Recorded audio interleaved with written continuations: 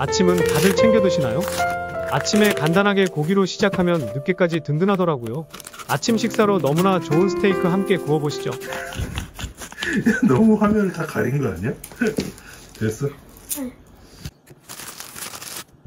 스테이크 맛있게 굽는 팁은 기름을 많이 사용하셔야 해요. 프라이팬에 기름을 두르고 연기가 살짝 올라올 때 고기를 올려주세요. 잘 지켜보다가 어, 어, 다 탄 거 아냐?